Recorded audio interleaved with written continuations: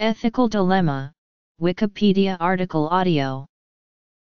An ethical dilemma or ethical paradox is a decision-making problem between two possible moral imperatives, neither of which is unambiguously acceptable or preferable. The complexity arises out of the situational conflict in which obeying one would result in transgressing another.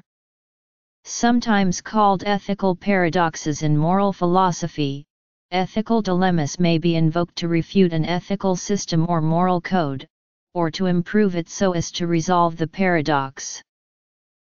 Definition Examples Responses to the arguments An ethical dilemma is a decision-making problem between two possible moral imperatives, neither of which is unambiguously acceptable or preferable. It is sometimes called ethical paradoxes in moral philosophy.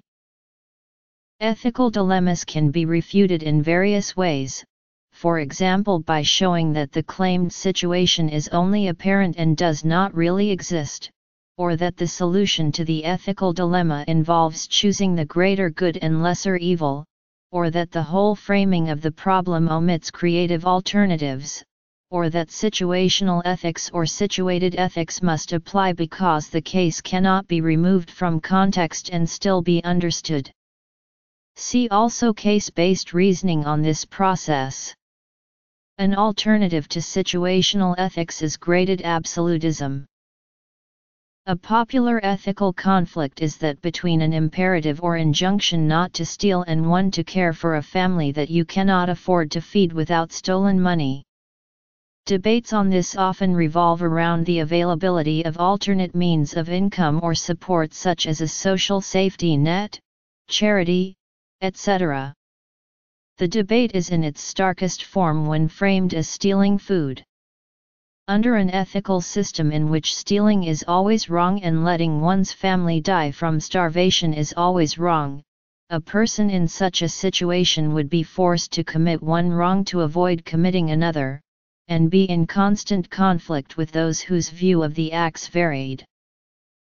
However, there are no legitimate ethical systems in which stealing is more wrong than letting one's family die.